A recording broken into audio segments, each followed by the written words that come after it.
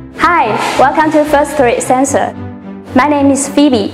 Today I will introduce our wind sensors to you. This is our wind speed sensor. It is 3 cup type.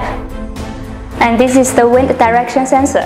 They can both have many signal output options like 4 to 20 MA, 0 to 10V, 0 to 5V, pulse, and digital output RS485 and the material is very good. It is aluminum alloy.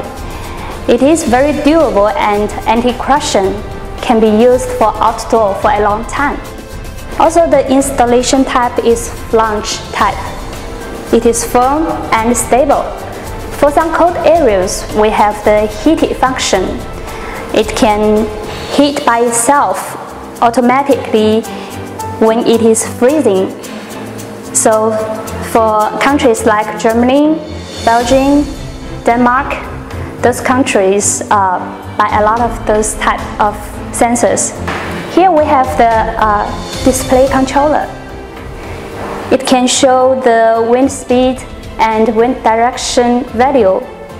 Also, it can alarm at your set value.